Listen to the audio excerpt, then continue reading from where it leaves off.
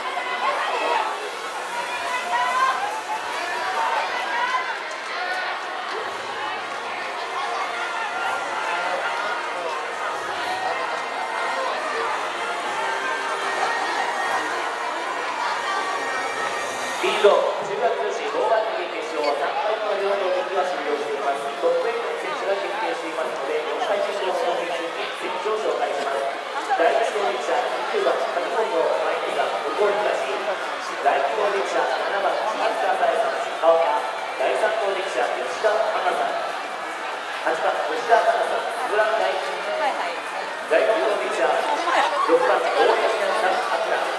大のピッチャー15番小野文太は土方第大種のピッチャー9番安岡さん小田第7のピッチャー16番岡本キャプテン鹿町第8のピッチャー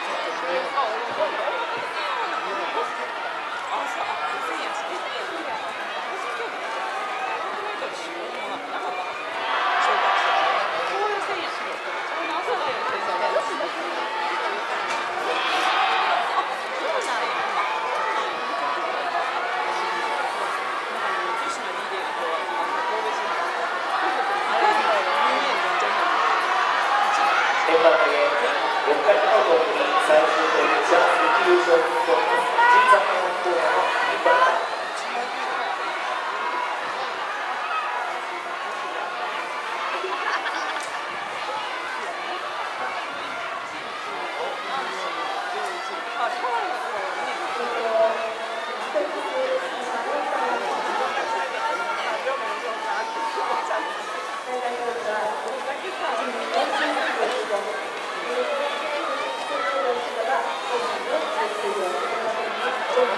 Florida.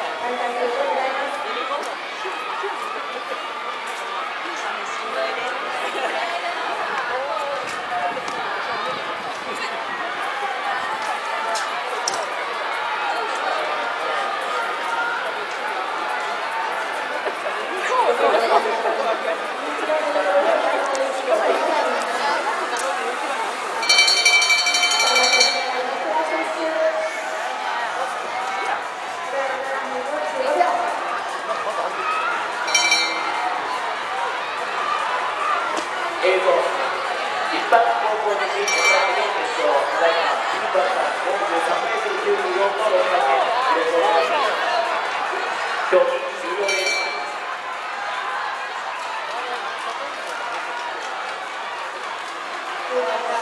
た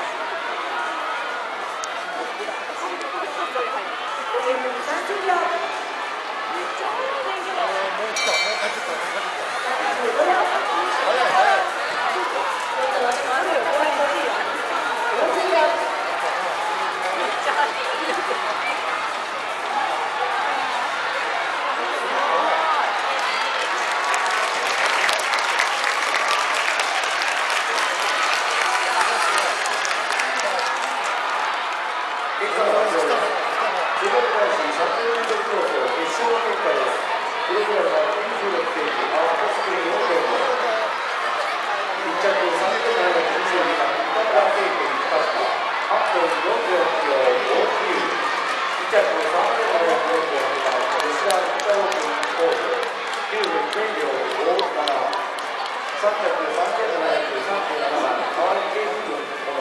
300、300、300、300、300、300、